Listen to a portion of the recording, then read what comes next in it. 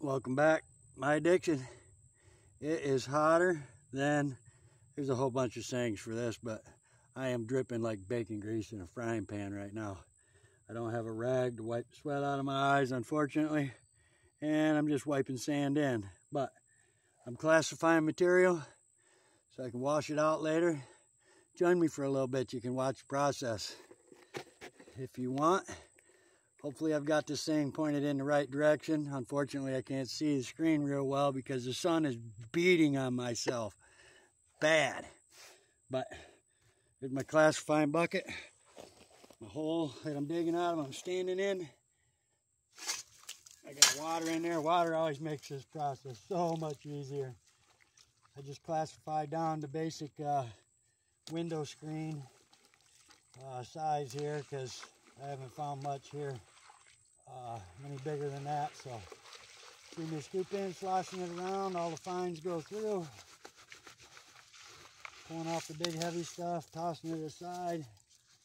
Do a quick check for any nuggets because you never know.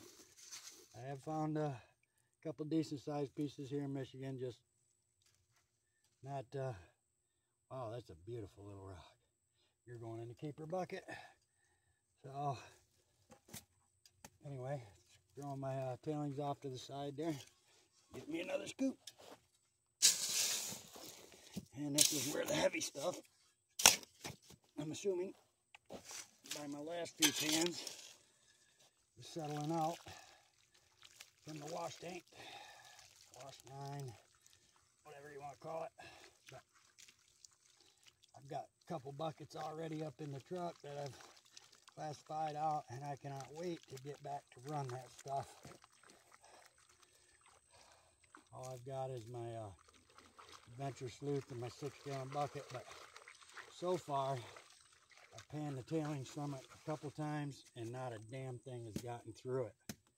I'll tell you what, that is a good product. Mini Adventure Sluice by Dream Mat. I believe it's uh, I want to say four inches wide and about 16 inches long. And I do have the one with the flare on it, so I could use it in the creek, but you can't here in Michigan, so I found another use for it. But it, uh, it worked great for the setup I got going. Here in a minute, I'll walk you up and I'll show you that. And you can see, and this bucket's already almost full. And you can see what I've, uh, how I'm using it. This is mostly sand. Now, I came in here well, about two weeks ago and dug right in here somewhere, so it could be just uh, redigging the same spot, but I'm trying to get down farther where some heavier materials might have settled out. Yeah, my bucket's getting full. This stuff doesn't even want to settle out. But basically, this is what I'm doing. Walk you up and I'll give you a quick view of the dream mat six gallon sluice of mine. And it worked great. I'm more than happy with it. I've got the big setup that I made is all dream mat. And I haven't got anything that's went through that yet either. Last week I had a little bit of an issue on my last run, what I thought was an issue turns out wasn't. Uh, if you've seen the pan that I posted on my Facebook page, is one of my best ones yet for a clean out. And uh, I was having a bunch of open holes in the matting when I was done where there was nothing that fell into the drop riffles.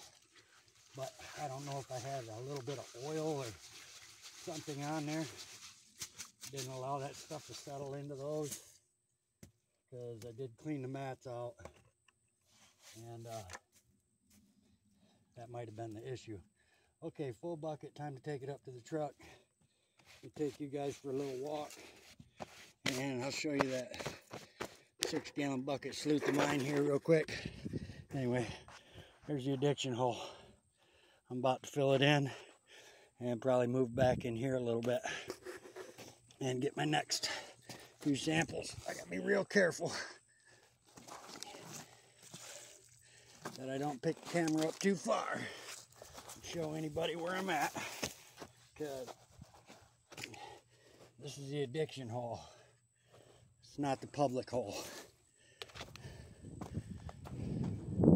I had to ask for permission to gain access to this spot. And I'd like to keep my permission to my secret spot. But this is my six gallon sluice, my dream mat that I got coming out the side, and a recirculating pump. I'll take that green tote right there, fill it with water, run my pump back into there. And once the bucket gets so full, it'll run water through there. About nine degrees. And uh, yeah, anyway, there we are. Please tune back in, like the video. Please like the videos. It helps me. I really like that. And I like to see it if someone does like my videos. But tune back in. Here in a few hours, I'll get them washed and we'll see what's in them. And let me tell you, it's going to be awesome. Don't miss it. Bye for now.